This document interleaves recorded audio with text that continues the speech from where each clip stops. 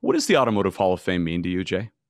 Well, you know, it's it's kind of cool because when you're in TV, you know, it's like uh, the the network will say we're going to nominate you for Emmy, and then we'll be uh, sort of pushing it on various websites. We'll be contact. So it's one of those things. You, it's part of the business, and people try to get it. You sort of run for it almost. You know, I mean, some people do, some people don't, but to a certain extent, you're kind of doing.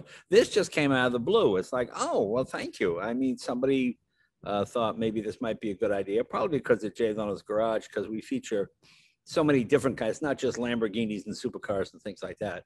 It's just all types of transportation from steam wagons to yeah.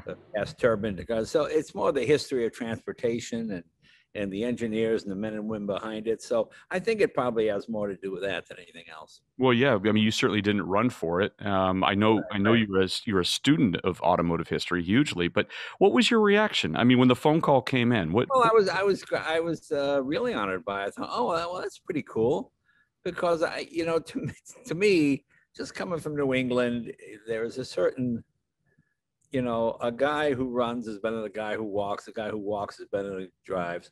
And a guy who works with his hands is better than the guy who just sits and types at a computer all day. I mean, he probably doesn't get paid as much, but there's something more real about it. And to me, as a kid, I always admired men, and to a certain extent, women too, who could fix things with their hands and work with their hands. I mean, that was always, I always believe the heart is healthiest when the head and the hands work together, if that makes any sense at all. Uh, you know, I, I tell jokes during the day, at night rather, and then during the day, I like to come to the garage and work on stuff because when you work on things, it gives you a perspective of how how hard it is to make money.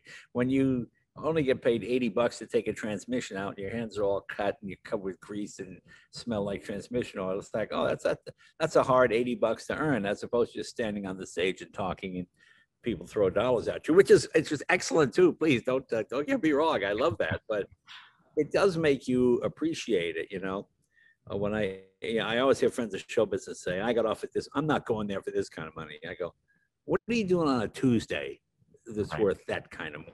Okay. Right. I mean, right. you, you have to look at things from a normal perspective and comedy is only funny when it comes from an everyman point of view. So when you work with your hands and you do mechanical things, uh, you just appreciate the everyman point of view, you know?